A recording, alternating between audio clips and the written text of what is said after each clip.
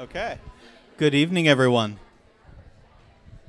Good evening and welcome to the first committee meeting of the Central Area Elementary School Capacity Relief Boundary Study. Uh, we're here at George Washington Carver Center. I'd like to invite all our committee members to please find your way to your tables. You can find your table by referencing the colored dot on your name tag. And we have nine different colored table markers throughout the cafeteria.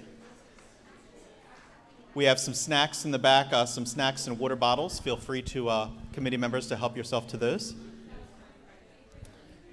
Anyone in need of restrooms, restrooms are available out the exit doors of the cafeteria, past the lobby, and past the stairwell doors on your left. There's a sign pointing to the restrooms. I'd like to make sure, I invite everyone to please sign in on the sign in sheets. There are two sets of sign in sheets in the back pink for observers and green for committee members. Please be sure that you sign in so that we can track attendance at these meetings. In the event of an emergency that we need to evacuate the cafeteria, uh, we do have several exit doors available to us, and we would invite to uh, regroup out in the parking lot and we'll check attendance against the attendance sheets. So again, please make sure you sign in on the attendance sheets so that we can cover that aspect in case we have an emergency. All materials covered by the boundary study tonight will be on our website. We have a website that will follow throughout the duration of this study. Our website can be found at the BCPS website at www www.bcps.org. If you follow the resources button at the bottom of that page, and then follow the link to the Central Area Elementary School Capacity Relief Boundary Study.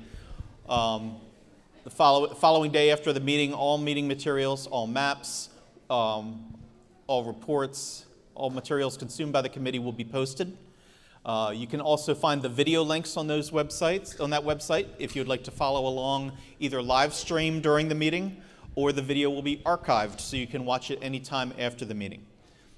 And those are available in multiple languages as well. Any, uh, anyone here tonight that wishes uh, to engage with Spanish translation, uh, Senora Frank is in the back raising her hand, and she will be glad to accommodate you.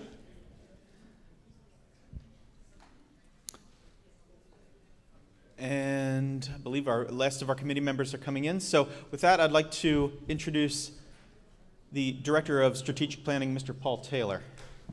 Thank you, Chris. Good evening, everybody. As Chris said, I'm Paul Taylor. I'm the Director of Strategic Planning for Baltimore County Public Schools.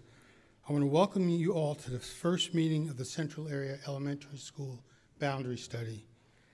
This is the largest boundary study we've ever done but we thought it was important to make sure that all of the schools that could possibly be affected were sitting at the table helping make this decision.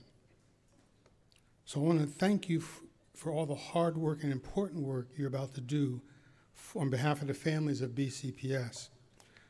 My office, the Office of Strategic Planning, is charged with managing the boundary process for Baltimore County Public Schools to ensure compliance with policies and rules and adherence to established practices and maintaining consistency throughout the process.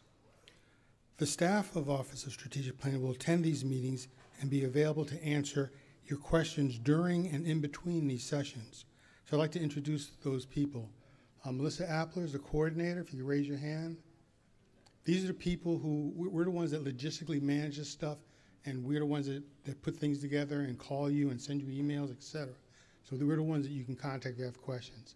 Um, Mike Gottfredson, the, the specialist in our office, he is the designated person to communicate with the committee. So you'll be getting a lot of emails from him, and if you have any questions, if you're not going to make it for some reason, which we hope you always will, um, he's the one that, that you need to communicate with. And Chris Mercado, we already met.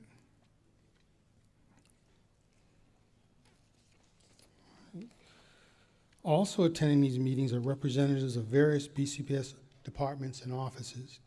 They are here to answer your questions and provide additional information that the committee may require. Uh, let me start by introducing Mr. Pete Dixit, he is the Executive Director of Facilities Management, and he's responsible for our office. Um, I'm going to mention the office, and if you're here representing that office, if you could raise your hand and introduce yourself. Uh, school leadership, is there anyone here from school leadership? Any executive directors? Just give us your name.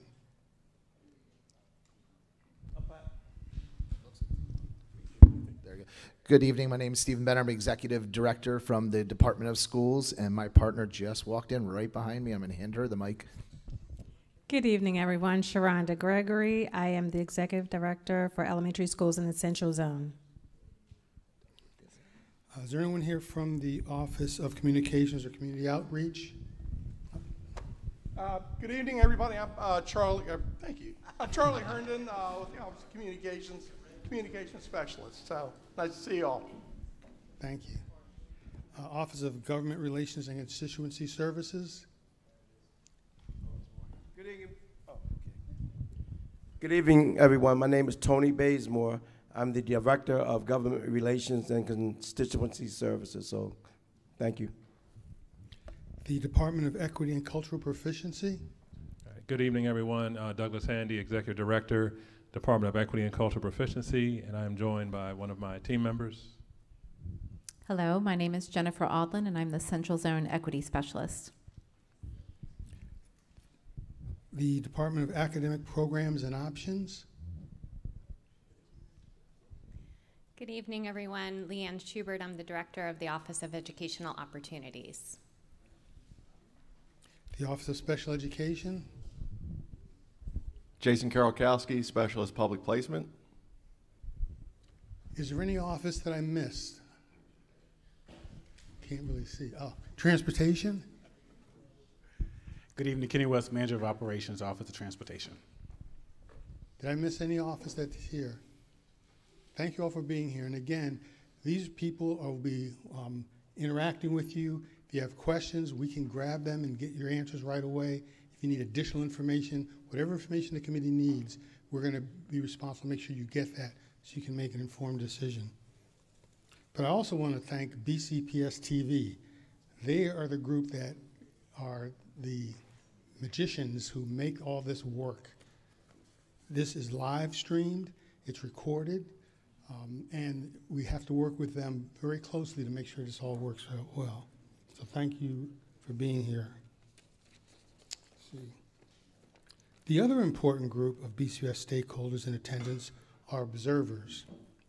We thank you for coming here. Please remember that although you do not interact with committee members while the official meeting is taking place, your feedback is critical and can be provided via the BCPS website. More information will be provided during this presentation regarding that. So at this time, I'd like to introduce Matt Cropper, Sean Dowling, and James Cooper of Cropper GIS, who will be facilitating this committee meeting. Thank you, Paul.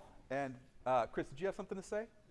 Just wanted to, uh, uh, one reminder. Um, as Paul mentioned, we are live streaming here tonight. It's very important for our observers at home and for the public record that we capture your voice as well. I know you all have great indoor voices, but um, we're going to do our best uh, when, when, it, when it comes time that, that the committee is maybe reporting out and speaking. Um, please make sure that we get a microphone to you uh, before you start speaking so that we can uh, get your, capture your voice as well for the recording. Thank you so much. Thank you, Chris, and thank you all for coming. We really appreciate you guys being uh, part of this process. As Paul says, um, this is the largest process that the district has ever undertaken in terms of boundary changes. Um, and we've been doing this for a long time with the district and with a lot of other schools. And so um, we have a lot of experience in doing this. But um, just be patient and, mi and, mindful that we have a, a large group here. So we have it formatted to try to make sure that we streamline input and, um, and, and, make the process as efficient and smooth as possible. Um, we are Cropper GIS Consulting. We're a K-12 planning firm. Uh, we um, work remotely, so we have a staff all over the East Coast. Um, but I'm Matthew Cropper, and I'm the president of the company. I've been doing this for over 20 years and facilitated studies across the United States and done several of them here in Baltimore County for about 15 years or so. Um, and so I'm honored to be here working with you on this, on this particular study. Also, I have James Cooper from our office here, and then Sean Dowling uh, is in the back there. They're both from our office, and I think you guys maybe help with the microphones. If people have questions, you know, make sure that we, we get people with microphones so that the public can hear what's happening, and, and it can be also, you can go back when they're looking at a recording, you can see what people are saying. Sometimes I go back and look at the prior meetings and look at what was said. So it's good to have things on the microphone. Um, so we have a pretty full agenda tonight. Uh, we have starting at now. We're going all the way to 8:30. We're going to um, basically go over some information, do a little considerations exercise, and then we're going to we have maps tonight for you, draft options for you to, to hit the ground running and start looking at. So there's a lot on our agenda, and we're going to get right to it. Like I said, our goals are to familiarize the committee with the process, the timeline, accessibility, and engagement. Uh, we want you to review the background report, which you guys all should have picked up a binder when you came in and signed up. I think you all have those. And bring those back with you. You'll see the binder is a large binder and there's not much in it right now, but by the time this is over, it'll probably be pretty thick. So that's, that's for you to keep adding materials, and we'll give you materials at every meeting. Um, we want to establish and begin practicing norms for committee engagement, and then finally get down to the get where the rubber meets the road and look at some draft options for starters. So the process is guided by policy and Rule of 1280. Um, it's facilitated by an independent consultant. It's driven by um, community committee and principals, teachers, and parents. So it's a grassroots effort here. And really, it involves ex- objective examination of data. Um, you guys are, are given the ability to look at maps, give us uh, input that will drive changes in maps or new maps. So um, so it's really, a, it's really in your hands to give us input and help guide this process. And then engage with the greater community um, about maps and make sure that they're involved. And then ultimately recommending, um, providing a recommendation for the Board of Education for approval. There are 77 members in this committee. So there are 19 principals, and those, those principals are here to give um, guidance and input, but, um, and, and also um, opinions, but they're non voting members. There are 19 teacher and staff representatives, and then 38 parents, two from every school, and then we have an area educational advisory council chair. And uh, so we have a good, well rounded group from people from all over this entire study area to give us insight um, on things as it relates to what you know about your area. How is traffic like in the evening? Where do kids walk to school? Where are busy roads that kids uh, maybe not cross over? And th- those types of things. Um, the, your local input is really important in this process. We ask you to suspend your parochial interest. So I know this is one of the hardest parts of this study is, is you have to think of how we're thinking and how the district and the board have to think is what's best a solution for all students in this study area. You, uh, we ask you that you take off the parent hat when you walk into this room and put on your committee member hat. Even if there may be something that's impacting you, we need you to think big picture about what's best for the, the, the solution for all schools in this study area. We ask you to attend all the meetings and, and, be representative of your community and tell us what things are like in the local area, but also think broadly about other parts of the area that are being considered. Um, we want you to ex- collaborate exclusively with each other and ultimately uh, leading to a recommendation to the Board of Education. Here's our timeline. So we've got three meetings. The, really, the focus right now is, to, is these first three meetings. And these first two meetings, we're looking at uh, some maps tonight, more maps, and then we'll have a, another set of uh, more maps potentially at this meeting. But when we get here, we're trying to sort of reduce down to a manageable number to present to the public. We have two public meetings in November where we're going to share some draft options. And then, and then once we get done with the public meetings, we'll regroup for two more to, to, to start the process of finalizing a recommendation to be, to be delivered to the board. Um, with that said, I'm going to hand this over to somebody from the equity um, office. If you'd like to uh, step up and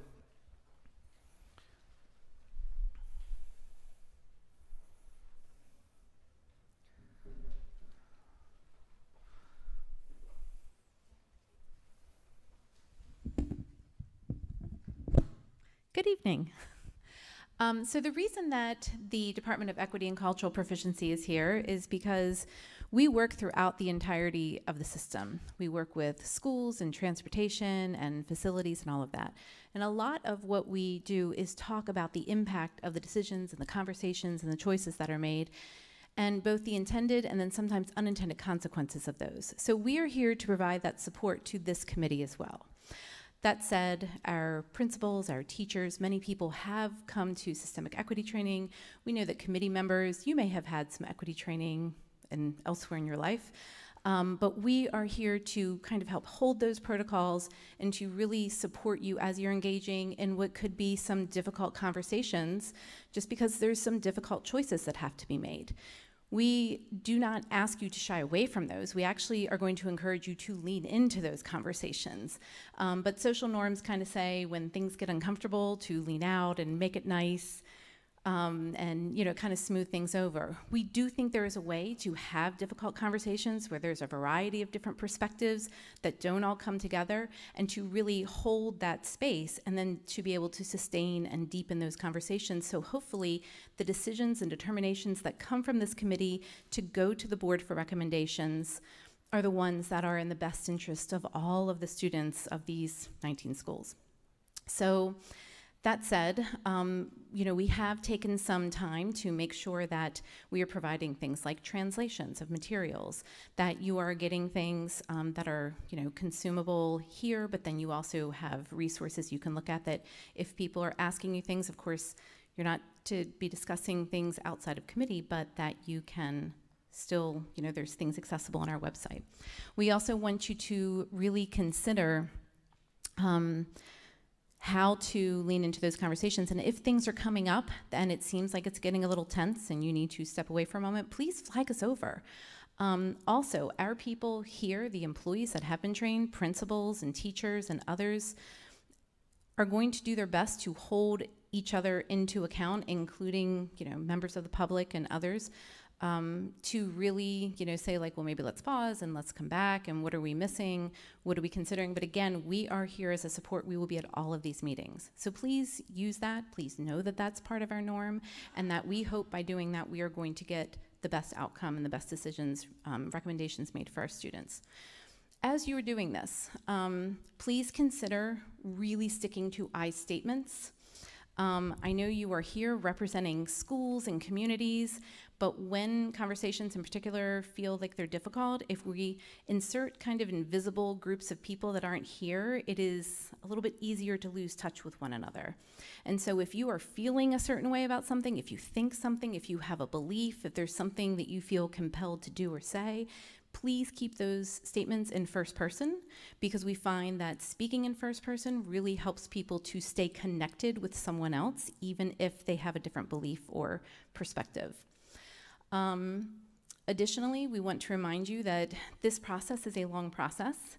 And so there are going to be times where a conversation may feel unsettled just because there isn't closure, there isn't a determination made.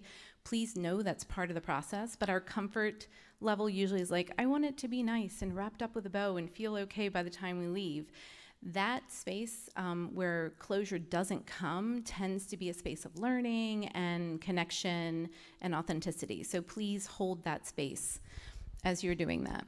And then also, even though this is maybe the largest boundary study committee I think I've ever been involved with, I'm not sure about um, ever, but at least the ones I've been involved with, it does not mean that every perspective of the schools and the communities you represent is going to be here in this room.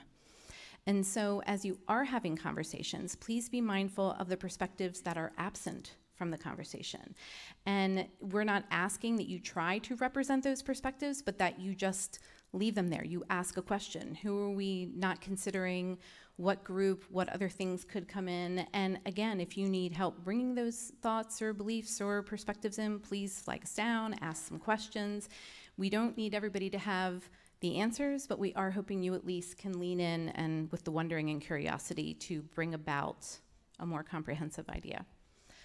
Um, so with that, um, just know that we're here. I think we're going to move on to. I, um, I accidentally jumped ahead a little bit. I know you did. So, I, so I'm going to go back to, the, to, the, to finish the other slides, and then we'll get to the considerations exercise in just a second. I'll be back.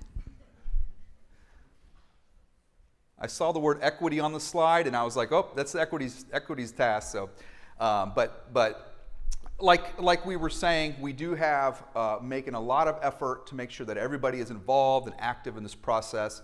Translation um, is available, online surveys, and, and translated in multiple language. Um, we do ask that committee that the committee work stays at the committee meetings. It's probably best not to have organized uh, meetings outside of committee to try to, um, to, to work through things. We, we ask that you keep the committee work at, at the meetings so that everybody can benefit from your input. Uh, we do have some inclement meeting dates on the calendar.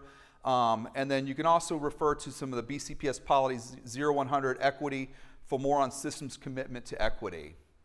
Um, we do have a website that's dedicated to this process, bcps.org, and you can go to the resources page and look at that, and you can find the Central Area Elementary School Capacity Study. Um, there's a place there where you can, a comment form, or anybody from the public can go online. So please tell people that uh, in your school communities or in your communities as, at large that they can provide input, and we are uh, we will be tracking that and sharing that information with you um, as it comes through. Um, the, this meetings are all live streamed, so people can watch them right now, and they're also being recorded for future review. And then there's also some public information sessions as well, um, like I mentioned, on November 15th and 16th, where we will be sharing maps in draft form to the public for their additional input, and that's accompanied with a survey. Um, and then, of course, you can always uh, refer the public to the Board of Education public hearing in March prior to them making a vote on what, uh, what boundary plan they, they want to approve. Talk a little bit about this area and why we need to do this, okay? Um, by 2024, four elementary schools in this area are going to exceed 115% of their capacity. We've got Timonium, Hampton, Carroll Manor, and Pine Grove, um, all well over 100%. There are also schools in, the, in this study area that have available capacity. So um, the, the focus, the purpose of the study is to relieve schools projected to be overcrowded and to maximize the use of available space in schools until additional seats can be added in the region through the capital program. So you'll see, you, sometimes you would look at, okay, there's a school that's overcrowded. Why are we adding students into this school that's overcrowded? Well, as you look at it, a lot of this is a team effort. We're trying to, you'll see what we call a domino effect. In order for some schools to get, to, to get capacity, there's a, you'll have to take some and you'll have to give some. So there's a little bit of give and take and a push and pull happening with the boundaries in order to balance out utilization across this study area. Um, these are, this is the study area you can see right here, and the color coding here shows the projected utilization. So you can see everything that's in orange is over 115%, and then you get to the, to the red, which is well beyond that. And then you could see, so there is an imbalance in utilization. There are some schools that have available space, as shown in some of the green, and, um, and then, and then and even some of the yellow gets, is getting close. But the, the goal is to try to get all of this somewhere like in the yellow if we could, or you know, somewhere, someplace to be more balanced. A lot of schools involved in this, in this, and I think that one of the important things is we have you all around the table here to try to give us a solution for this area. But this doesn't mean that every single school in the study area has to be moved, or there doesn't have to be an impact to every single building if you don't feel it needs to be. We were trying to minimize the impact, but bring everybody around the table to see if we can't come with a joint solution to, to give relief to schools that have it the most, which are these schools that are listed here. And you can see the long list of schools that are, that are, uh, that are available, that have some available capacity to help us uh, provide a boundary uh, solution. The schools participating in the study chosen to give the committee options in providing capacity relief in the area. Um, depending on the work of the committee, the final recommendation may only suggest changes to boundaries of some of the schools. That's just what I said. And so it doesn't have to be uh, uh, uh shuffling the deck entirely, you know, but um, it's up to you guys. We'd like to see what you guys have to say. These are the rules, Rule 1280. So these are the rules we follow as we start to make boundary changes. These are things that you, every time you look at a boundary move, you're thinking about moving a boundary one place or another, or you're looking at some of the drafts, always ask yourself, how are we adhering to these considerations? And are we trying to, trying to make ourselves better adherent to these considerations and try not to move further away from them? So the primary considerations are efficient use of capacity, and then maintaining or increasing the diversity of schools to reflect the diversity of the region and the school system. So those are the primary ones that are identified in Rule 1280. There are other considerations for you to look at and think about that adhere with best practices in this industry. Uh, maintain the continuity of neighborhoods. So try not to draw the line down a residential street if at all possible. Try to keep communities together, and if a community has to move, they move together, and try not to split up uh, residential communities if at all possible. Be mindful of the impact of transportation and walking patterns, number of times any individual students are reassigned. Um, be mindful of long term enrollment capacity trends, location of feeder school boundaries, so continuity feeder patterns. So this is, focus is only on elementary schools. None of the recommendations, when this is all done, are going to have any effect on middle or high school boundaries. But with that said, there's a relationship between elementary and middle in terms of how many students are going to go from elementary school to a middle school. Sometimes an elementary school gets split. Uh, sometimes all of an elementary school go to a middle school. If you have to split an elementary school, um, which usually you do because of just the nature of where they're located and the number of seats, it's most ideal to have a split be balanced, like a 50 50 split. You want to try to avoid 5% of a school going to one, going to one school and 95% of the kids going to another one. Trying to keep them in mind, these children want to have familiar faces when they go from elementary to middle school, some continuity there with the social structures, social dynamics that they have uh, built as they're still building. Um, additional considerations to use geographic features, railroads, creeks, major highways, those kinds of things are helpful to align zones. Just uh, helps adhere to um, safety and transportation efficiency. It covers a lot of, checks a lot of boxes with uh, trying to consider uh, aligning things with that.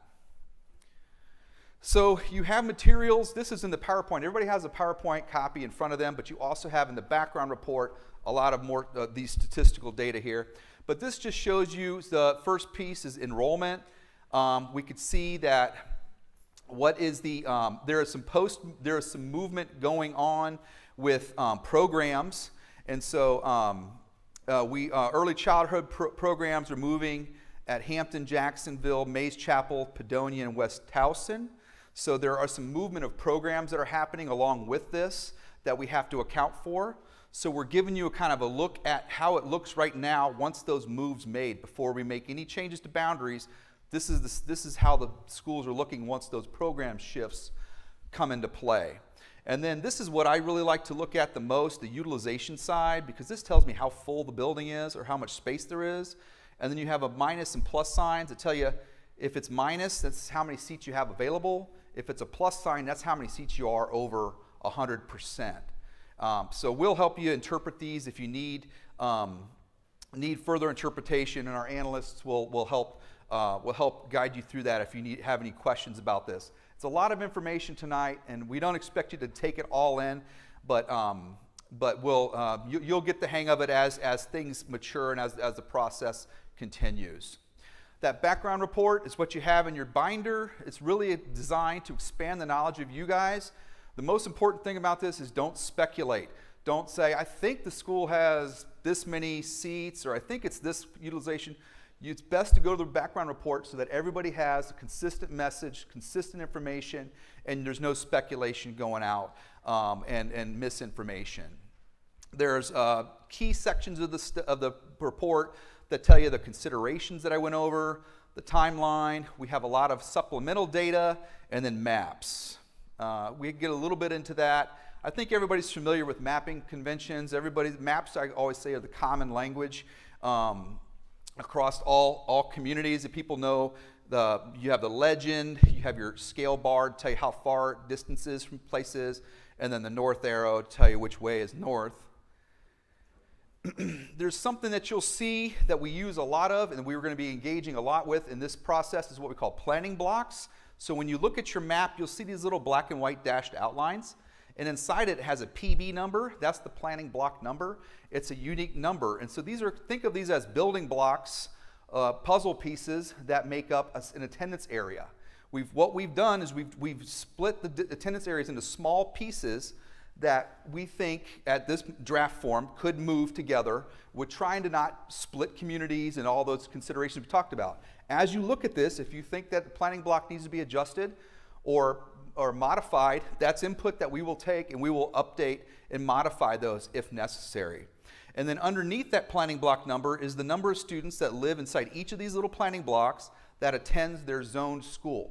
So those are the numbers that if you look at, okay, how many kids live in there, that's the number that you would look at. How, how many, 79 students live in planning block 412.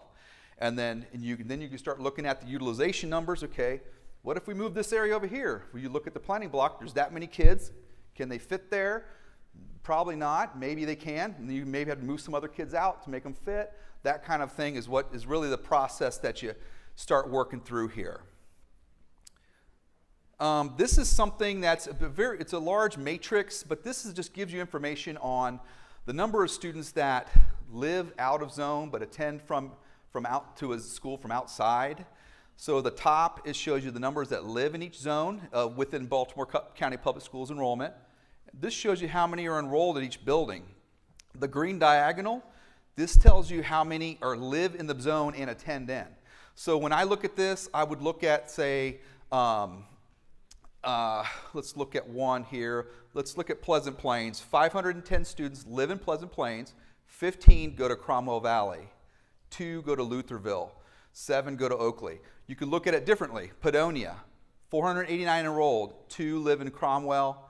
Two live in Hampton. And you can kind of track it that way too. And then this is just a sum of these, out, these non-green colors that make up the total numbers that live out and attend in. So it's just a way to give you some more information on if you want to know how many kids are coming to the school from out of zone, this is, this is the data that I, we would refer to and help answer that question for you. We've covered the norms and expectations slide, and uh, so I think we're back on track. Um, so everybody did get a, uh, a handout in advance of this meeting with the considerations. I think everybody got that, and we gave you a little homework asking you to take a look at that and really kind of review those considerations because we really like to get your input on these considerations. Um, so I, what we want to do is um, have you work in some small groups. Did you want to help guide this one? There you go. We're back on track now, so. So hopefully you did do your homework, but as any good teacher knows, sometimes not everybody does, and the lesson will go on. Um, and we'd like to start you off by, if you could bring out, if you brought that paper with you, if not, if you could take a look, we would like you to start to share um, with the group that you are seated with um, which of those two you would prioritize. And let me be clear on the parameters for this part of the conversation We're ready to do that part, right? Where I just want to like tell them to talk well, about it in groups? Yes, okay, we're going to let them work in groups, and then we we're going to yep. do the exercise. Wanted to make sure we were on the same page this time. So um, if you could, three minutes? Perfect. Oh, no. Three dots. Thank you. we're playing charades too. Um, so if you could. Um, you had that activity, if you didn't do it, if you could take a look now at the different considerations, um, and we're talking about there are primary considerations and there are secondary considerations um, that are to be considered in this process. And that is part of the rule that goes along with the policy that governs this entire process of the boundary study. And so what we have asked is that with the three dots, or you know, when in your activity, for you to look at which of these considerations do I value, are important to me. And at this time, we're going to ask for you to spend about five ish minutes it's not enough time, five to 10, but probably closer to five than 10, talking in your groups and sharing with the people at your table which of the three are your top priorities. Now, to be clear, you don't have to pick like one from primary and two from secondary. It's whatever three to you are the most important considerations from your perspective and share that with your table mates. Now, as you are having this conversation, I want to be clear it is not that we are trying to have you all align or have somebody convince you of something. We just want you to understand the different perspectives that are at the table, the different things that are valued at the table. Um, got it? Questions? Okay, so you're looking at the primary considerations, secondary considerations. Which three to you are the most important, are the most significant? And for you just to talk about that, share it with your table mates now, go.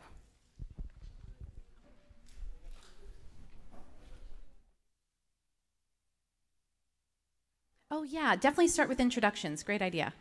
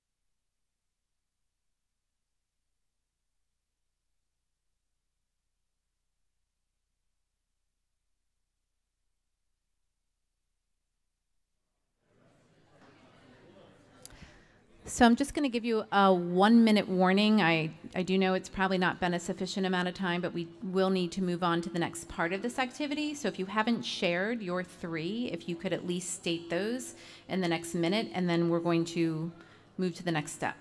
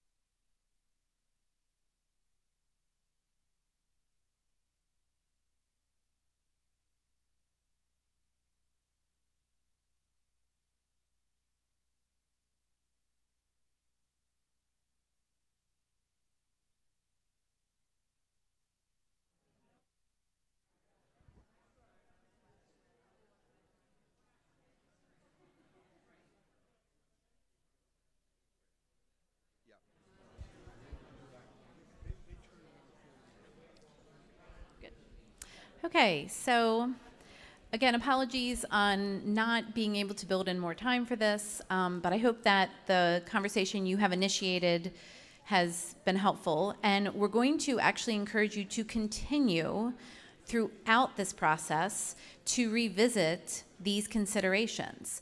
Now, I did say to one of the tables, and I kind of want to repeat it for the group, the primary and the, uh, secondary considerations are what they are. This is built into the rule and the policy around boundary studies. However, you are all still individual humans with your own beliefs and perspectives and lived experiences, and so you're going to be bringing some of your own things. So what we are trying to do is sort of help you to reflect and center both yourself and this activity. So that said, each of you should have gotten three dots. Does everybody have three dot stickers? What we're going to do is, since it's such a large group, we're going to dismiss you three tables at a time to go over to that chart that is on the window. And we're going to ask that you take your three dots and you put them under the column that corresponds to the three that you personally are prioritizing. Principals are invited to do this as well, yes, because you're participating in the conversations even as a non-voting member. Yes, if you need more dots because you put them on your paper, raise your other at the back table, you can grab them. So these three tables here, can I invite you all to go first? And as our first three tables are going up, we're going to try and do a little crowd control. I'm also going to take this opportunity to let you know that there are some um, bottles of water and snacks at the back, and this would be a good time to grab one if you would like that. Pat, one other thing, please, if you also would uh, try not to put two dots on the same one. If you want, um, we usually say like one dot per consideration. So, you know, maybe if you feel real strongly about one, you know, you may be compelled to put two on the same one, but try to do just one dot per consideration so that we could see the consensus.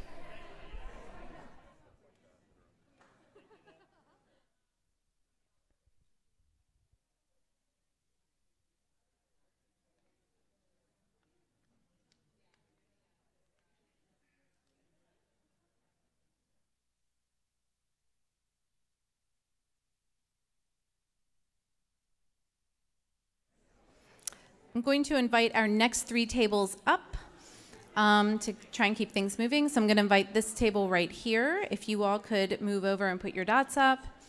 And then if you all could go up, and if the magenta group could also go up. Thank you.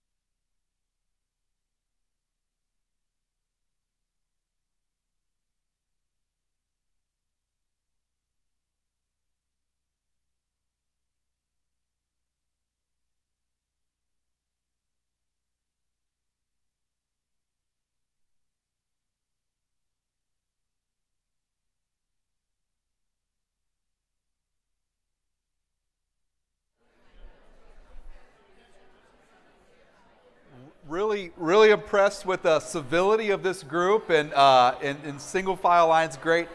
Don't feel like if you know if, if, you know what three are, you can go up and put them on, and um, you don't have to do it necessarily one at a time. But you guys are fine, no problem.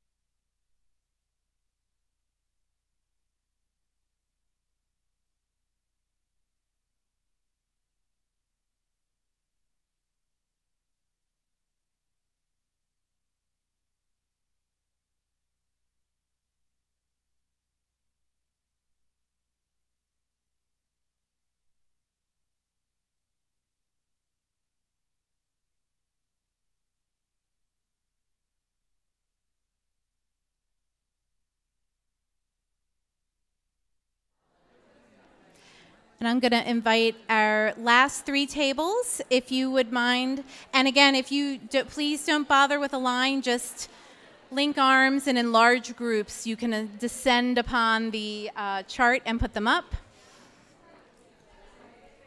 Light pink group as well, you are welcome to come up.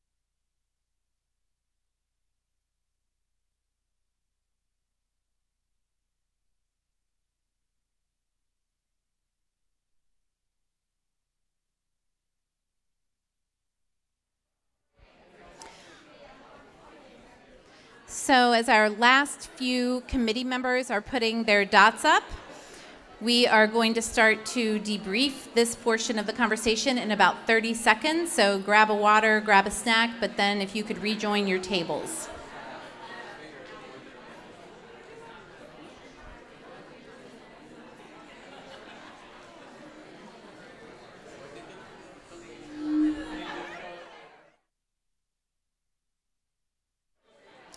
Okay.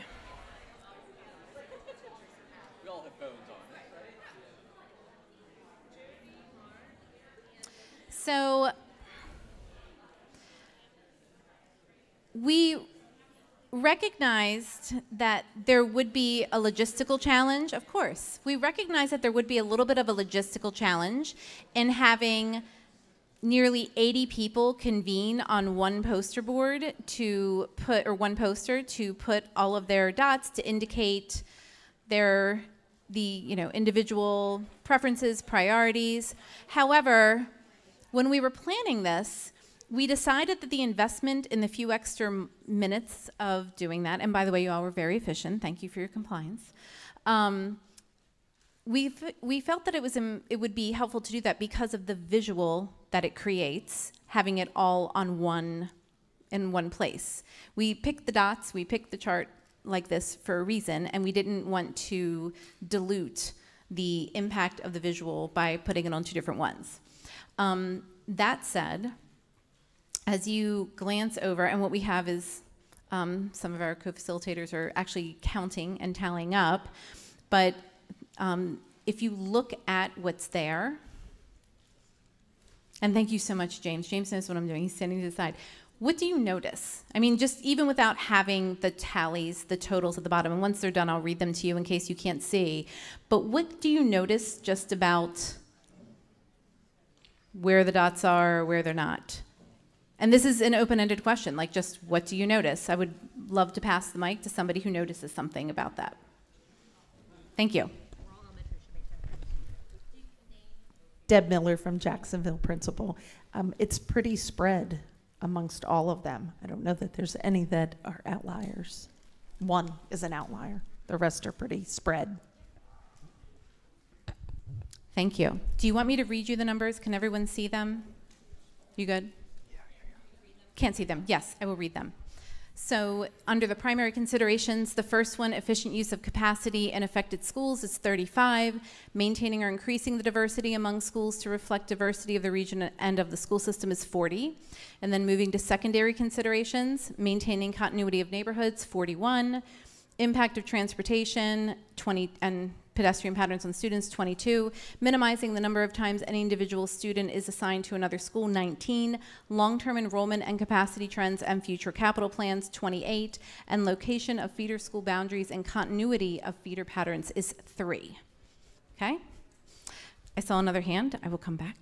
We've got another mic over here too. Oh, wonderful. Thank you. Good evening, everyone. My name is Manny. I'm a uh, co-chair of the Central Area Advisory Council.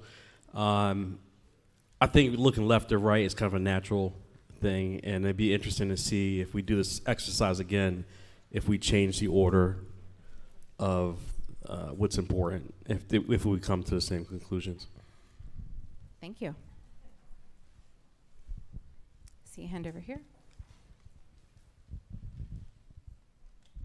Hi, I'm Emily Tucker. I'm a Rogers Forge parent, and as a parent, the feeder schools was an uh, important issue to me, and I was really surprised that only two other people thought so.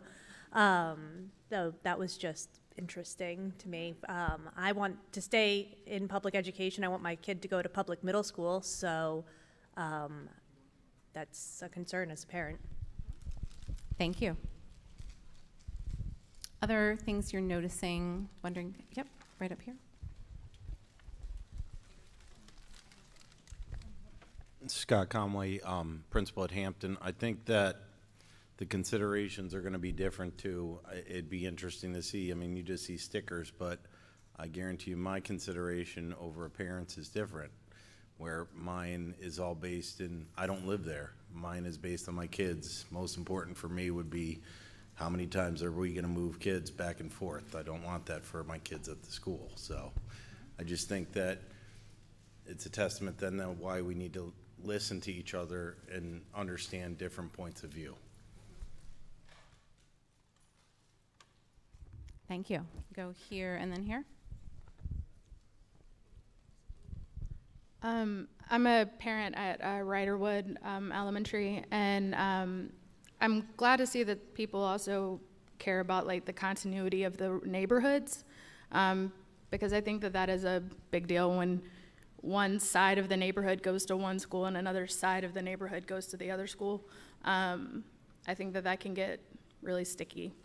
And Thank you. Hi, uh, my name's Eric. I'm a parent at Hampton Elementary. Um, and I'm, I'm sorry, I didn't actually turn around to see who from Rogers Forge spoke earlier about the feeder school pattern. Hi, Emily. Um, uh, one thing that my table talked about in our discussion was that a lot of the secondary considerations are kind of interrelated in some way, like the feeder school boundaries. I mean, that kind of plays into continuity in neighborhoods as well as impact to transportation. And so perhaps that could explain why things shook out. They're all interrelated, I think. Thank you. We have time for one more over here. Hi, my, uh, my name is Lazarus. I'm a, uh, a parent at Carroll Manor. Um, one of the things that I think is interesting is that these are all very valid and for different things, for different ways, but we need to have good information to make sure that we apply all these. And there were two in particular, just off the top of my head, there was two that I think come into play in terms of making sure we have the information to make sure these goals are met. One is the um, making sure the number of individual students are not assigned to another school. Well, do, do we have, hopefully we'll get some information on who's been moved in the past, who will be moving from other studies and things like that, because, you know, we don't always know. I mean, we might know if somebody is, is from the area and, can comment, but it would be good to have sort of a list of the specific planning blocks that have already been moved before so that we can try to keep those people at least staying where they are.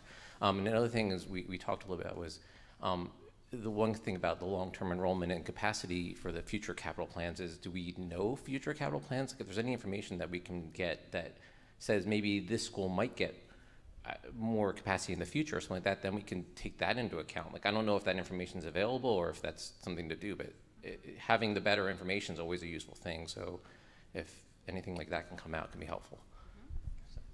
Yes. Those are two very good points. We do have that data, and we'll provide it at the next meeting. And I believe you all have, are there sheets on their tables, or if they have questions, they can, the parking lot, the orange. So if those things come up, feel free to raise a hand and ask any of us. Um, even if we're walking around and it's during committee conversation, we'll do our best to get an answer to you. But if it's something we need to come back to, please put it on those parking lots because we do want you to have that information that does feel critical in those moments. Um, the other thing, as we wrap up this portion of our conversation, I want to say is this specific activity is not something that we have always done in our boundary study meetings. And we recognize that to just say it's a primary consideration, to just say it's a secondary consideration, does not make it so that you are all here because you have an interest, you have vested interest in the schools that are being considered for these boundary changes. And so I would, um, we wanted to, to really take the time to have you consider what they mean, consider what they mean to you as we're asking you to employ them in this process, and then understand even where each other sits with this. Um, so as committee members, you're being asked to hold them, but you know, what does it mean? And then to continue to, you know, ask that question and push on each other as you're making these negotiations through the process. So thank you so much for your very thoughtful um, engagement in this, and we will be around if other things come up. I'll hand it back over. Thank you very much, and I, I, I concur. I think this has been a very helpful and informative exercise to see um, how this the group in the, in the study area feels about the considerations. Um, like, we, like she said, they are what they are. These are the rules, but um, it is something that to be mindful of and see how, um, how each committee member uh, feels. About, and then you can see that they're, all of them have stickers on them, so they all have priorities to people. So you just have to make, you know, be mindful of this. But as you work towards um, looking at boundaries, just, be, just keep in mind the considerations and rules um, as, as you evaluate options and look at the data. Um, we have two maps tonight. I think you guys have already seen when you came in, you two, two draft options right in front of you. You, I've seen people already trying to interpret the maps, looking at things. How does it look? How are these areas moved? So you've got uh, eight and a half by 11 maps in your packets. There's also the large plot maps. Um, we also have a really nice uh, interactive map that you can uh, pull up and you could look at on your phone, which I think is a really useful utility, but it's basically something you could turn on walk zones, turn on and off the options. It's BCPS CES 2023. You can zoom in, see more detailed roads and things like that. And so uh, that's something that we can help you with or doing your homework when you go home. I would certainly recommend the online map, especially given the size of the study area. Um, and then we have all this is on the web page, so any member of the public who wants to uh, see anything or uh, look at any materials can, can access all of that online at the BCPS um, boundary change uh, page.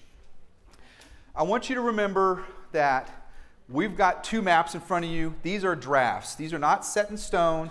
Nothing is final by, by any means. So really, we're just giving you a sort of a starting point that as we at Cropper GIS have evaluated ways to try to balance utilization and adhere to the other considerations, we've given you two maps to start with. We want you to react to those, give us input, tell us what areas you like, what you don't like, and we can take all that input and look at coming back with some modified maps, some additional maps.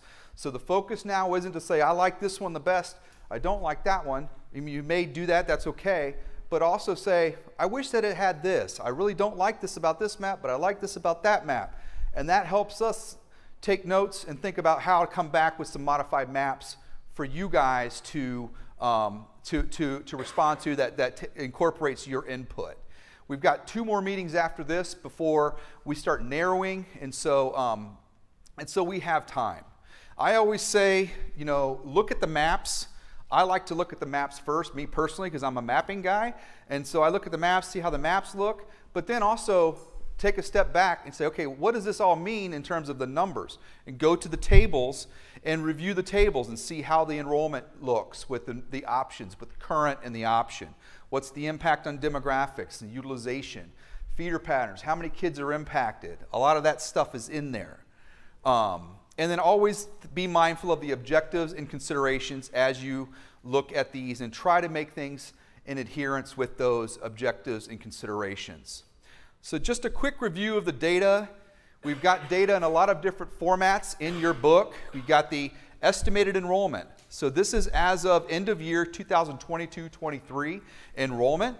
Um, and this shows you what the current enrollment is uh, uh, post post movement of, uh, with including post movement of some programs. And then what is each option estimated in terms of how many students would be estimated to be in each building? Um, so that's this. You use this say how many kids do you think the building the school is going to have? What's the estimated enrollment? This will give you that number. Then I prefer this that just the same data but just looks at it in terms of percentages. This is how full is the building, and this is what I like to look for to see like look at how much imbalance there is with the current and then looking at the options, you could see how much balance is, is incorporated into, into the map. And so just look at the utilization numbers. This will help guide you say, okay, I, I like this map, but I think that this area shouldn't be in this school. Look at that planning block number. How many kids are there? Okay. Okay, well, there's that many students. This one has 28 seats. Okay, so that may work or whatever. You know, that's kind of how you work with it demographic data, and this is just a sample, so I would encourage you to look at your background report because the, this is just a sample. The background report has all three, um, all current, and then option one and option two in it. Um, and this shows you the uh, demographic data in terms of race and ethnicity, um, uh, economic disadvantagement, free and reduced meal percentage, and English language learner percentage. Everything that's blacked out are those that have been redacted because there's less than 5% uh, in that particular category. So we're doing that just to further in, uh, ensure the uh, privacy of individuals. We have impact numbers. This tells you how many students are impacted in option one, how many are impacted in option two. This, these tables tell you how many kids are moving from building to building. So anytime there's a tan colored cell, this tells you 21 students are moving from Hampton to Oakleigh. Uh, 51 Carroll Manor to Jacksonville in option two. And, um, and so and anything that's green tells you 286 students that are in Carroll Manor stay in Carroll Manor. So this tells you if you want to know how many kids are moving from one school to another, that's how you would pull this up and say how many students are moving from one school to another and so on and so forth. Feeder pattern data, this shows you the percentage of the school that feeds in. So we got the current, and then for the option, what does it look like? How many, how, what's the percentage, and what's the impact? Um, this, we do count the total number of splits. So we've got currently 11 splits from elementary to middle that, we that we count by looking at how many splits are occurring. And then an option, we total them up. So you could see that we have reduced the number of splits while looking at all the other factors. And so this is the split data um, for feeder patterns. Walk zones, we, we do our best to maintain walkability at, at all costs if we can, but you'll see that there are some challenges in this area where there are students who are um, being um, moved from a walkable situation to a situation where they're probably going to need to be transported. Most, most of this is occurring around the Padonia area, I believe, and, um, and so that's this is such a small zone, but they need relief uh, as, as we have drafted so far. It's up to you to, to, to, to make that determination, but that's where you see the impact on walk zones. So there is an impact on students that can walk, and it's reduced a little bit because of us having to reduce that Padonia zone to get them under um, 100%. You got option one. This uh, gives um, just a quick overview. When you look at the map, the background color is the, is the option, and then you have the black outline that shows you the current zone. So you can always see where the, the black outline deviates from the background color is where areas are moved. And we have James and Sean and uh, BCPS staff will help you interpret that if you have any questions about that um, to see how things are, how things are, are, are shifting in each option. In this option, we do provide capacity relief to Timonium, Hampton, and Pine Grove. Uh, they do, Pine Grove does still remain over 100, 100% although they do get relief. Um, all schools are within 8% of the study area average of 96%, so we're trying to look at things as it relates to that total average. Um, this option impacts the largest number of students 1388, uh, and then there are 53 students who are walking who are impacted in this. Uh, but the feeder pattern splits go down from 11 to 8. So there's uh, different things that you can see, and this is our sort of just rough interpretation. You guys uh, can certainly add to this list of the things that you identify. Option two, again, background color shows you the, uh, the changes, and, um, and the black outline shows the current boundaries. This map provides capacity relief to Timonium, Hampton, Carroll Manor, and Pine Grove. Um, Oakleigh is over 100% and Padonia as well, but they do get capacity relief. And then all schools are within 8% of the average. So they're drawing closer to the average in terms of utilization. This one impacts fewer students um, and fewer walkers, uh, but feeder pattern splits also go down from 11 to 6. So giving you some just a quick insights as it relates to those considerations that we've been looking at. Um, and so with that said, what we want to do is with this size of a group, you guys are all around your little tables. So we're calling these micro groups, your colored ta the tables with your color numbers. So we're going to have you guys work in micro groups, and each micro group is going to evaluate the options, okay? So you guys are going to work 25 minutes or so talking about the maps, telling, like trying to, trying to document which ones, your comments from the micro group, try to streamline it maybe on a single map, so that, on a map so that you can, you can mark on the maps. You can use the little post-it notes and Put smiley faces where you like things, sad faces where you don't like things, X's and check marks. However, we can know we need to take that information. We need you to document the stuff so that we can take it and, and record that. But then those micro groups are then going to work, combine into a subgroup. So then you guys are going to work into a, three tables are going to get together and work in a subgroup. And, um, and so we got one group, the I think these three are going to go to this corner, and we're going to, you're going to tape your, tape your maps up on the, on the, the glass or on the, the frame there. And then you guys can work around, and the focus there in the subgroup is for you to streamline all your comments from the three groups into one map if you can. You may need to make multiple edits. Like there may be two, like con- conflicting comments and things like that, but just try to get your information on streamlined into one map. So try to condense the input from the three microgroups onto one map. I think you'll see a lot of consistent comments, but then you know we want to have all the unique inf- input onto um, a condensed map for your subgroups. One group's going to be here, one group's going to be there behind Paul, and the other group is going to be over here by the energizing entrees section of the cafeteria.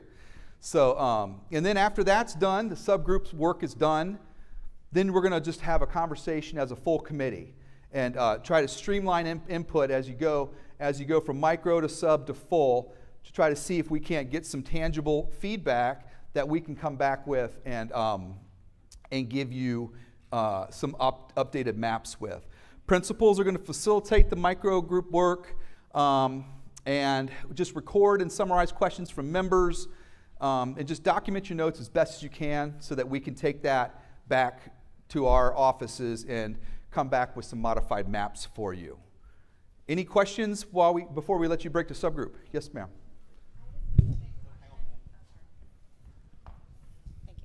I had a specific question about the Cromwell magnet pro- program.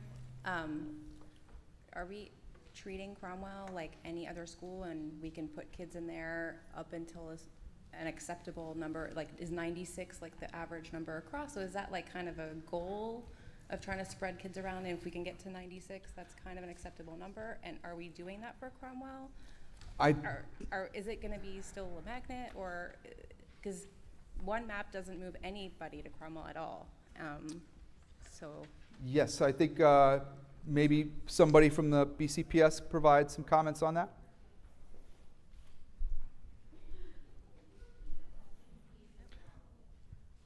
I think, okay, go do, ahead. do you want to summarize or do you? Go ahead. There you go.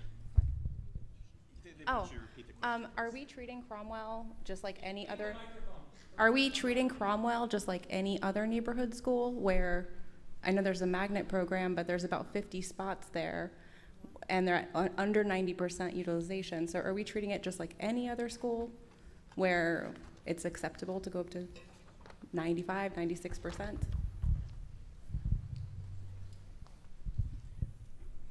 So, uh, Leanne Schubert from uh, Educational Opportunities. What I would say is Cromwell absolutely needs to be a part of this conversation, but the students who are currently at Cromwell applied to be in that magnet program. And as a system, we've made a commitment to families that we're never going to pull a magnet program out from under a student while they're in the program. So when you're thinking about Cromwell, any changes would be incremental over the next five years with the kindergarten admission. So we're not going to tell students you're in the magnet program, but you need to leave to make space. So it would be an incremental change as you consider Cromwell Valley Elementary. I would defer to strategic planning on adding and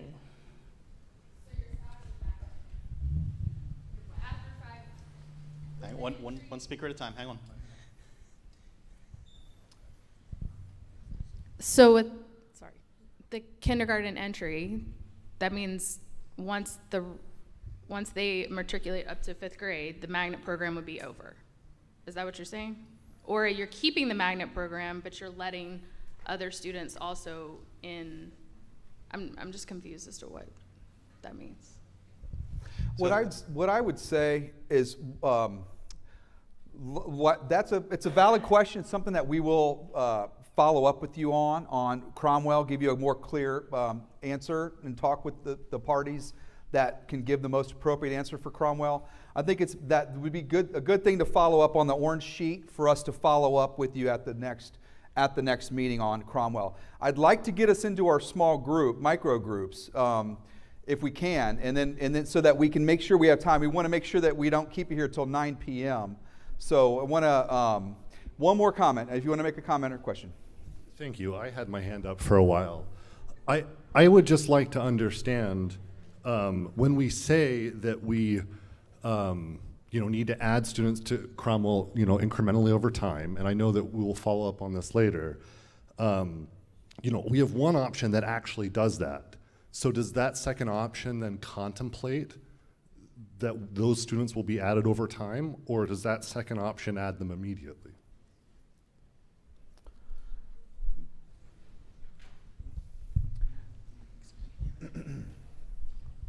These are very good questions, and rather than us just try to give you quick answers, we're not making a decision tonight, but we, those are good questions, and we'll get you data, real data, for how many magnet students are in there, how many extra seats there are, because it's not 100% magnet.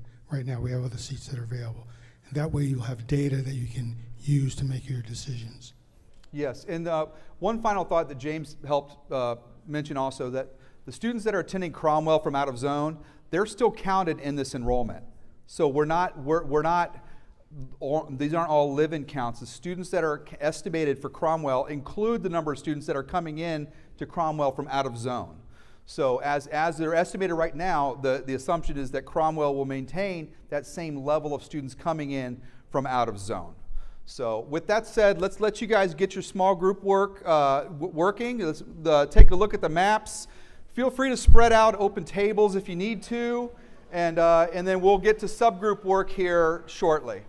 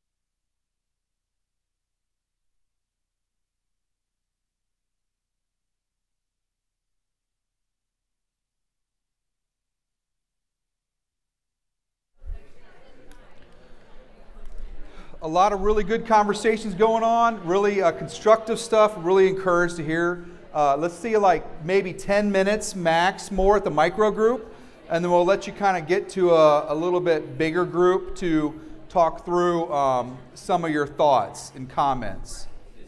About 10 more minutes in the micro groups.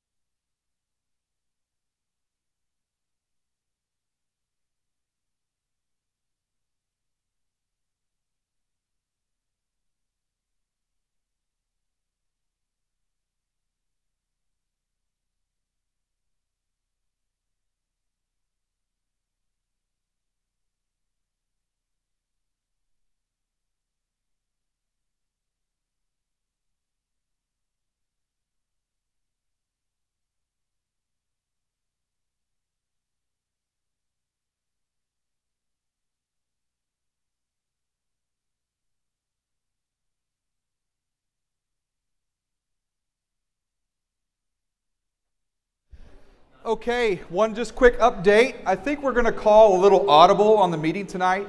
I don't think we're going to break into subgroups. I think we're going to, I'm seeing a lot of good constructive input at your micro group levels.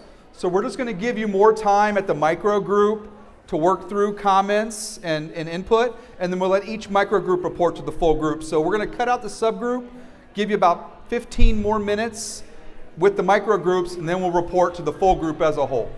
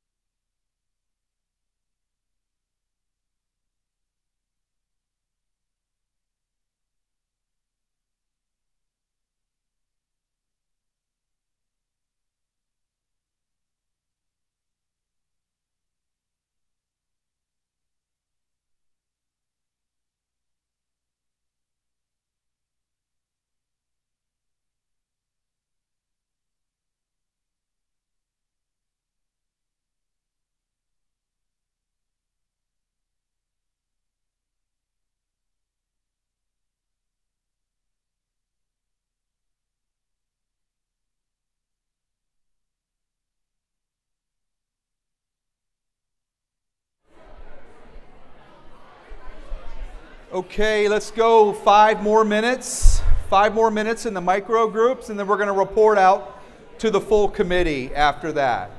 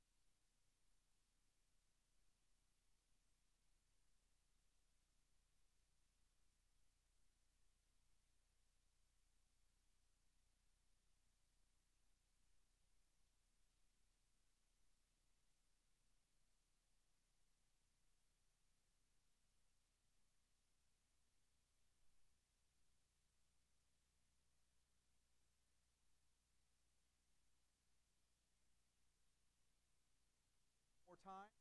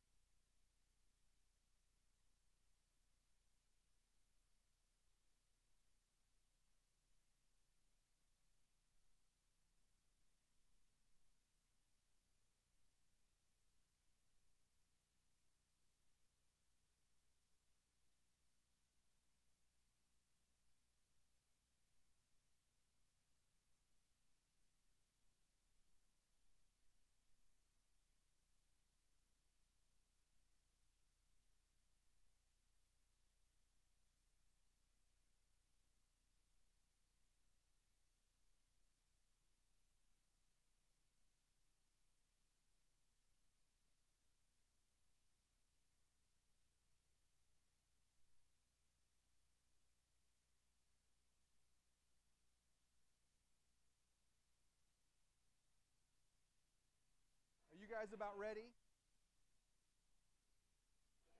You guys about ready to report?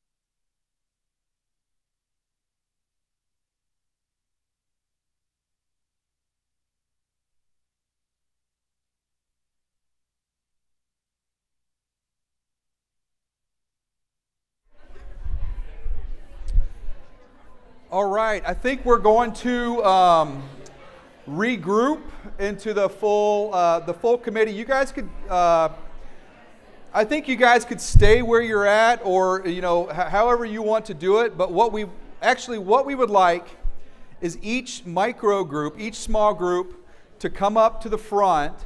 If you have a map, edit uh, or any markups on the maps, bring your map with you and hold them up so the full committee can see but we're going to regroup as a full committee and just see what all the tables are saying. A lot of good conversations being had. And um, so let's start with the magenta group. These guys look like they've been ready. They're, they're, they look like they're, they're ready to go. So um, do you guys want to come on up? Uh, micro groups, we're going to regroup as a, as a full committee now. A lot of good stuff being said, I know if you want to come up to the microphone, we'll make, try to get the get order on the floor here. Yeah, I'm going to try to get uh, try to get them to simmer simmer a little bit. We're going to go report now from the micro groups. Um, so go ahead.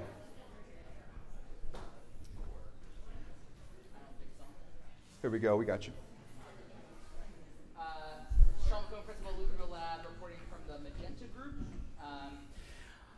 Our comments uh, kind of pulled back from the map a little bit. We thought about, we, we discussed 1,400 or 900 students um, and families being moved between schools, the impact that, that would have, and uh, in consideration that we know there are some capital projects for housing developments in our area that are on hold, but uh, that hold is, is ending. There are perhaps capital plans needed in the near future from the school system. Uh, we wondered if this disruption would would be shortly followed by another disruption in a few years. And so we wondered, kind of, is the juice worth the squeeze? Do we want to continue to disrupt the communities that are with that are in this area um, every three to five years, um, or, or, might there be other solutions that could allow us to to hold until a longer term solution might be found through a capital project? That's one of the um, uh, pieces that we discussed at length. Um, the other is looking more broadly at the um, the second of the primary concerns, which is diversity. And diversity isn't defined in the language that we looked at tonight, but we looked at it through a racial lens, racial equity lens. And we saw that the average, uh, if you look at the, the um, area as a whole, I don't have it in front of me, I think it's 26% of the students are black, uh, as is. And then in option, there are eight schools, uh, I believe, at current, uh, that currently have um, populations where the uh, number of black students is at 26% or less. If we move to option one, there become nine schools where black students are underrepresented versus the average as a whole. If you move to option two, there are 11 schools where black students are underrepresented compared to the area as a whole. So one of our primary concerns is increasing diversity, but the options move us toward less diversity uh, through that lens. And it is similarly problematic when you look at it as at um, economic disadvantage, which is 22% um, as a whole. I don't have all those numbers in my head because it's been a long day. Uh, but that was the second um, uh, avenue that we looked at. And then um, personally, with Timonium and Lutherville. The Timonium parents are at a school that is most um, over capacity. Um, from just their, their lived experience, keeping it personal, local, immediate to them and their families, they were unaware that their school was uh, so over capacity and, uh, and that, so it was not, it is not in their experience a problem. Um, now, th- there are two parents, not every parent at Timonium, but that's their experience. Um, and then from Lutherville, um, in our experience looking at our lens, um, our black population in uh, one option is reduced from 26% to 9%, and another option is reduced from 26% to 10%. So again, moving away from the goal of um, diversifying. Thank you. so just, yeah, very good, very good. Thank you very much. Paul, do you want to say? Um, I've heard, I, I appreciate your comment about the capital projects and disrupting the students multiple times. I heard that in a lot of conversations. Just so everybody knows, there are no capital projects approved to move forward in the central area right now. If we decide, if the board approves that we can start doing capital projects in this area, it's five years before we open the doors. That's how long the state process takes. So that was one of the reasons why we knew it was okay to do this now, because even if we quickly get something going, um, it'll be five years before the doors open on a new school. So, thank you. Do you want to add one more, another comment? Thank you. And just to clarify from our discussion, um, the other end of that are uh, building projects that um, we know are, are happening in the area. So there's a 400 unit apartment complex uh, that uh, is is uh, in some level of development, and uh, a delegate or a county councilman pressed the pause button. That pause button is was for one year, will be up at some point. Um, and I understand we can't um, deal with every hypothetical, but that was the other uh, discussion point on on uh, what may change in the near future. That's a good point. And whenever we're aware of the developments that are coming online in different parts of the county, the planning department tells us, and we build those into our projections based on what the county says is approved and being under constructed. Okay, who wants to go next? What group wants to go next? Um, well, I guess I'll pick on the red group because you guys are closest to me. So, do you guys want to come up and say uh, say your thoughts? Just re, uh, recap your conversations and um, with, for the full group. Sure, that'll work. Hi, I'm Deb Miller. I'm the principal of Jacksonville Elementary. The one thing that is a concern um, when we looked at the the mapping is that Jacksonville, Carroll Manor, Mays Chapel, we are pretty rural up in our area. And so there is a concern. Currently, Jacksonville students have upwards of 55 minutes on the bus. And if we're moving around, um, the one boundary study that we looked at, Carroll Manor kids have to, the, the group of Carroll Manor that would come to Jacksonville have to drive past Carroll Manor Elementary School to get to Jacksonville because there's not really a main road to get directly from one place to another. So I think the biggest takeaway that we took with these two is that the time of transportation from students, the lack of major roads between Carroll Manor, Mays Chapel, and Jacksonville, and the fact that the Warren Road Bridge is shut down every other year, and that that gives us only one main road into that upper area. So if those our Mays Chapel kiddos would be pushed up into the Jacksonville zone, we're going to have a serious, I think, issue with transportation of the getting the kids back and forth. Um, the second thing that we need to, I think, look at is the future uh, pre-K and FORS program that are coming to schools that may not be there right now um, are going to increase um, our number. Additionally, it, both Carroll Manor, Jacksonville, Mays Chapel, we still have a lot of new homes being built. And so that's a concern as well when we're looking at all of those numbers for our kiddos. Anything else? Okay, thank you very much. Any other comments from the from people from the red group? Okay. Okay, how about uh, why don't we come over here? Do you guys want to step up? Yeah, sure.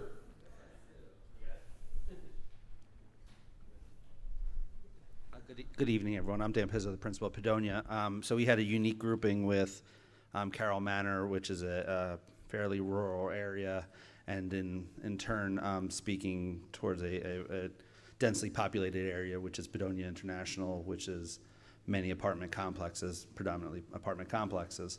So we went from analyzing, you know, 30, 50 square miles to analyzing which apartment complex on which street was cut off. Um, so it was, it was a conversation that, um, you know, we're talking about Loch Raven Reservoir and Sweet Air Road, Sweet Air Road, Sweet Air Road. Um, and then we're saying this apartment complex is cut in half. And so speaking on, on the Padonia side of things, um, we, and, and the, and the dots, we, we spoke to the importance of maintaining neighborhoods. Um, and should, and should there be consideration about keeping apartment complexes together? And what we see is if you receive a, a discount to move from a two-bedroom to a one-bedroom, do you also recognize that you're leaving your school to, to now attend Pot Spring or Warren or Mays Chapel? Um, so that's a consideration, but then when we look at student numbers, you know, that, that could be an 80, 80, 80 child swing from one school to the next. Um, great group working with you, so thank you for that. But um, the, you know, the, the Carroll Manor considerations are, are very much um, what Ms. Miller spoke spoke to regarding um, the geography of, of the area, um, the the size of, of of the catchment area, and and so I sort of echo many of her thoughts there. What did I miss? Thumbs up. Thank you. Thank you. Thank you very much. Um, you guys want to go next? Okay, you, you look like you were ready. You're walking up here. Scott Conway, Owings, or geez, that's my old school. relax, relax. Hampton Elementary School. Sorry, guys. It's been a long day. Um, so the main thing that we wanted to discuss first, or that we wanted to consider, is obviously there was a boundary study and there was a movement just recently, so a couple years ago, not too long. We want those kids to be considered looking at our school as a whole at Hampton because we don't want to take kids that just were moved, that came to a new school, and then moving them out to another school. They're Hampton kids. We want them to be able to finish their school careers there, so just in consideration. Now, many of them, looks like the move, if they started in kindergarten, they'd be in fourth grade this year, so fifth grade, they should still have an option to stay if not. So that, that's one consideration. Obviously, we can't just focus on Hampton, we want to look at it for everybody, so we looked at different pieces on the map um, that would create what, what the committee's trying to do is put everybody in a more in line capacity to hundred percent. Obviously, that's not gonna be perfect across the board, but what we did notice and some, it was good to work with the committee, because I'm not totally familiar with every neighborhood, and having people that live here, everyone that lives here knows it a lot better. So even though we're trying to keep the integrity, as Dan said, with the dotted lines to keep neighborhoods, there are some neighborhoods where it, it seems like they're together, but if we look at it closer and, and you zoom in and you were actually to see a divide, that there are places where you could keep kids and maybe break it down where it's 80 kids, that it really could be about a 40-40 split or a 30-50 split, and it'd be easier to move 30 kids than it would 80 kids. And just trying to see as, um, you know, Sean was saying, we want to keep equity in mind of all this because we want diverse schools for our kids. That's the real world. That's what we should have. We should have diverse populations so we're all working together.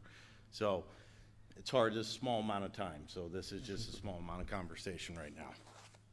Thank you. So did you, um, I see markups on the map. Did you guys suggest some planning block splits? There, there are, there are specific places.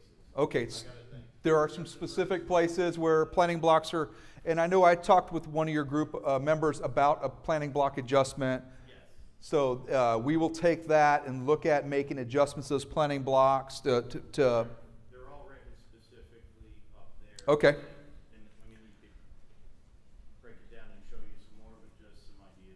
Okay.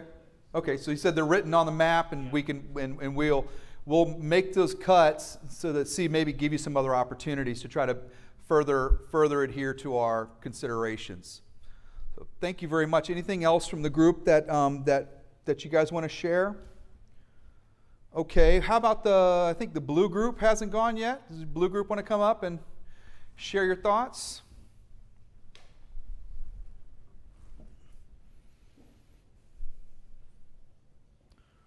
So we looked at the two options and looking at the impact of students with option one impacting more students.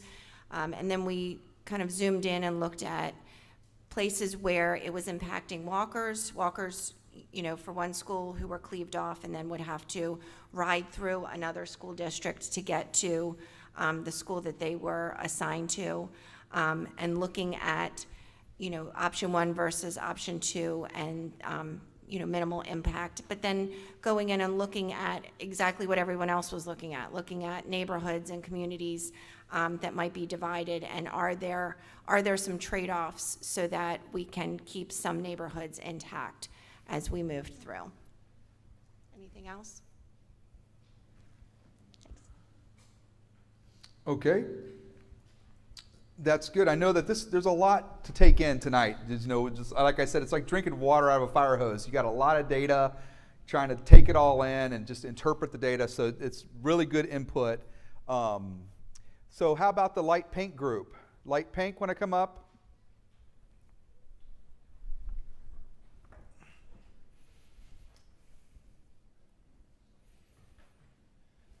Hi everyone, so I'm Fergal, I'm with the uh, Light Pink Group, we were Stoneleigh and Halstead.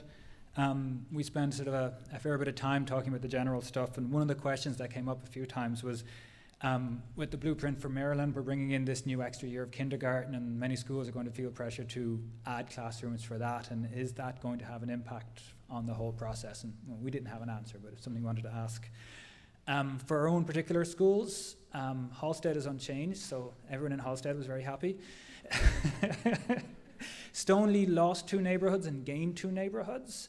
And we felt, as the Stoneleigh contingent, that given the capacity we have at the moment, we could afford to take on those two neighbourhoods without losing the children that we currently had. And so, if we kept those neighbourhoods and made the school community bigger, that we would have uh, better continuity and fewer people moving around. So, that was one of the major things that came from our side. And there's a few general comments about this school and that school and so on. And you know, we feel that we could improve the walkability scores over the over the district with a few small changes. Thank you. So to make sure I'm clear, the Stoneleigh moves. So were you saying that you think that as looking at the adjustments, the areas that are added to Stoneleigh, were you, you, are you like the way that the shifts were happened, or were you saying to keep Stoneleigh as is and add the students to it? We were saying we were saying keep the districts that we keep the neighborhoods that we have, and mm-hmm. if we have to add things because we're not over capacity, then mm-hmm. that's something that that's an addition that we can feel that we feel that we can accommodate. Okay. That we have room for that. So just make Stoneleigh bigger, but don't take any kids out of it. Sure. Yeah. Okay. Great. Great. Thank you. Um, anything else from the pink group? Uh, anybody else from the pink group want to say anything? Okay, moving right along. I think I don't know if I've gotten you guys yet. Okay, you guys want to come up? What group are you? Green. Green, okay. Hi, everyone. I'm Jason Garber, Green Group. Thank you very much. Um, the first thing we concluded was we need more information. Um, for example, what are the projected um, enrollment numbers moving forward post um, redistricting? So, whether option one, option two, or any other option that will follow, it would be ideal to understand what those projections are. It would also be ideal to know the performance um, or the test rates and scores before and after as well, and see that impact to see what schools, if any, are detrimentally impacted by any such change, and what schools actually benefit substantially from any such, such change. Um, it would be ideal to know what planned and submitted capital projects there would be for any of the schools and whether or not there's any consideration for expansion or anything else um, that's foreseeable within the next several years. Uh, there was a question uh, about what the Title I threshold is to make sure that if, it are, if there is a question as to uh, a particular percentage in order to maintain extra funding for a particular school to make sure those numbers are hit um, and that the children are not suffering from a lack of extra funding if they're at a magical number that takes it just under that threshold. Um, there, uh, I know, for example, there were in option one, there was uh, an issue as to jumping several schools. There's a, a neighborhood down by the Baltimore City line um, that was, I believe, presently districted to West Towson that then goes past Rogers Forge and West Towson in order to get up to, uh, I think it's Riderwood. Um, that seemed to be a bit extreme. And there were some, maybe one or two other examples of uh, neighborhoods jumping other schools and to figure out a way to make that more compact and make it more amenable to transportation, both not just to the children in terms of um, being fair, but also in terms of uh, conservation of transportation resources. Similarly, um, we noticed for Cromwell Valley, for example, there were additional planning blocks that would be added. At present, Cromwell Valley has no uh, transportation that's dedicated to go to uh, go to Cromwell Valley that's outside of an existing hub. For example, Pleasant Plains parents may congregate and have a bus pick them up there to go to Cromwell Valley, but you're adding in neighborhoods that would require their own separate transportation. So there's a transportation resource allocation issue that arises in those situations. In addition, while there is no development project that you've indicated that is actually been approved, that's maybe fair. There are a couple that I know that are planned. For example, there is one at the um, where the former Bed Bath and Beyond is off of Joppa Road and was a Towson Place. The Kimco has already come to my community association to say we're planning on building a five-story apartment complex right there. So we know that that is something that's going to happen at- or likely to happen at some point. And so when I see two planning blocks where we're talking about multi-story housing, now in, in I think it's option two, being districted over to Cromwell Valley, there's going to be an emergency situation at some point in the future that sitting here in the moment is foreseeable. Um, let's see. There are questions about the numbers. Um, we see planning blocks being moved with numbers, but we don't know the individual planning blocks and what that means in terms of busing, diversity numbers, and other such information that will be relevant um, to the uh, schools and the other um, and the new boundaries. Um, let's see. No, I think that's about it. Yeah, that's really good. Um, one thing to clarify is that when you were talking about capital projects and Mr. Taylor spoke, he was referring to school school capital projects. So like future schools, future additions. There's nothing in the foreseeable future in this study area in terms of added school capacity that's been identified in the capital plan. That But- is, it's not within the plan that's going to be submitted to the IAC, but is there something that's being planned to maybe include for future IAC submissions? Okay, so that's that's a deeper question. So that's something that we could follow up with.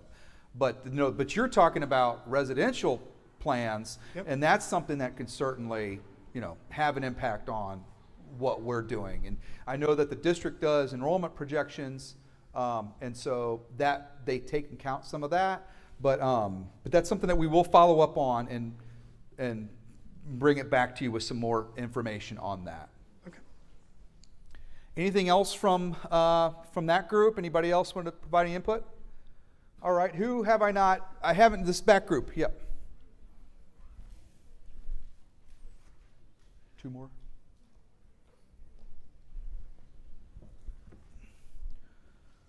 Hi, everyone. I'm Michelle Rowland. I'm the principal of Rogers Forge, and I wanted to go right after this gentleman because he spoke a lot of what our concerns were in terms of, um, you know, some of the boundaries are impacting Riderwood.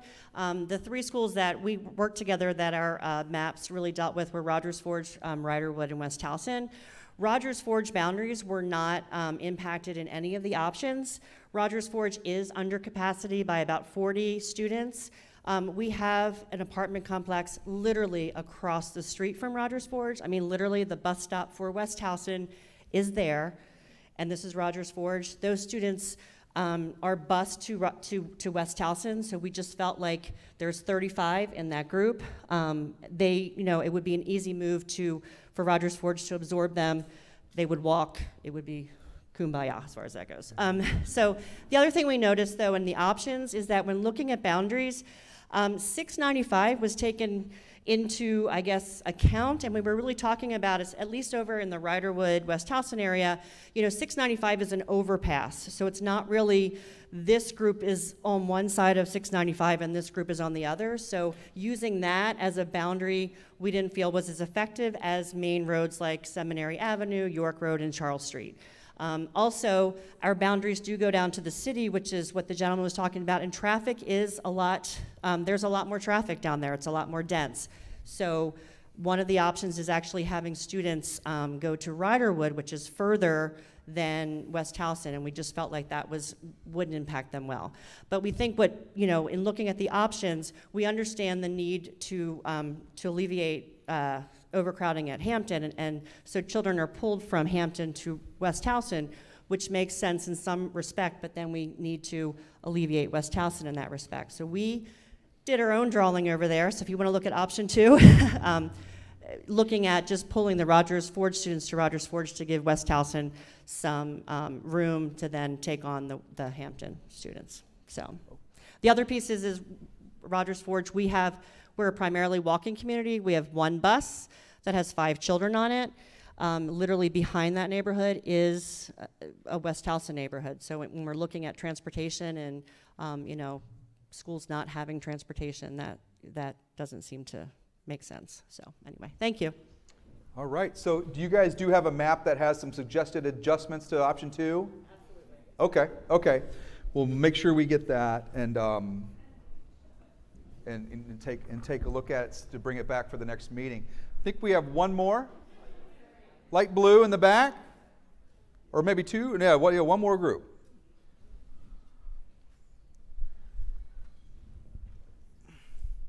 Hello, everyone. My name is Tara Bullock. I am a parent. My child goes to Oakleigh Elementary. Um, I was telling my group I felt like I was playing fantasy football back there. I didn't know what was going on. But um, as a parent and an educator, I, it's so hard for me to do this because I think as the educator, and I always think about how this impacts the teacher, having just these 20 or these 12 kids move from one school to another because it makes a difference. So it, that it's a big deal um, changing one school culture to another. Um, so that was my first thought. But as a group, we talked about um, sending zoning children to Mays Chapel and Cromwell because they were underutilized. And Cromwell is a magnet school for computers, and now that everyone has laptops, I feel as though they those children will be able to go and be okay, or my team feels that way. Um, we also wanted to, we also questioned why isn't Harford Hills um, considered since they are in between a central, two central areas? Why can't they be reconfigured? Uh, why are they not part of the Yes. study area? I think I, I think it's I think it's just a matter of they're trying to they're trying to figure out if you know there's every a lot of schools in the county have needs, and if I think if we we keep looking, okay, there's a neighborhood school here that needs that has needs, we end up we're ended up with the whole county. So they're trying to get keep it at a study area as a manageable size, and they've identified schools that can provide relief to adjacent schools as potentially. And I think that that's where they just kind of like said this is this is enough, and they had didn't want to extend it any larger. Okay, and that was primarily, we did talk about the same thing many other groups talked about, transportation being an issue. Um, and so that was pretty much it. Anyone else have anything they would like to share? Okay. Thank you. Um, so, a lot of good uh, input. I think it's. I'm seeing some common common threads. I think we have some uh, some suggested changes to option two, and we'll bring that back. I, but what I'm hearing, I'm a lot of the a lot of the groups, from what I'm gathering, is a lot of the one guy said juice isn't worth the squeeze. Sometimes, uh, from what I'm gathering, the kind of the vibe I'm getting off the groups is um, are making a lot of adjustments, we're impacting a lot of students, but is it really provide getting a result that's ideal for these schools in the study area, the school communities? Looks sounds to me like you're asking us to bring back maybe some maps that may not impact as many students and communities and try to focus more on um, the most immediate needs, but try not to extend it as far out. Um, that may be something that I may be gathering. So may, maybe coming back with a map that tries, to, makes an attempt to move fewer students, but still try to provide some immediate relief to schools have the greatest need. That's kind of what I am hearing. So I think we'll try to do a map like that, maybe make planning block cuts and another map adjustment to two, bring back another map there. And then as you guys continue, you know, I would just encourage you, and we've got a couple weeks before we get back together, just to keep studying the data, study the maps, um, study the options, and when we come back at the next meeting, we'll be bringing some additional ones and some answers to some questions you had, and be looking at um, trying to see if we can't adhere to the, the concerns and the, and the desires of this community and uh, try to do the best we can to get a map and a, and, a, and a solution that meets the needs for you guys. Like I said, we don't always have to move every school. Um, so maybe that's maybe we went a little too far in these last these first two maps. But um, but uh, I appreciate we all appreciate all of your time. Uh, just any other comments from the group that anybody else wants to say before we let you go home? Um, so our next meeting is October the 12th, uh, right here at 6 p.m. Yes, did you want to? Oh, please just leave your uh, papers on the table. We will, we will pick them up. You've got your stickers on them. Just leave your, leave your parking lot questions on the table and your notes and stuff like on the map. We'll collect all that when you guys, after, as you guys adjourn. Well, thank you guys very much. We'll see you October 12th. Good, good night. Good meeting.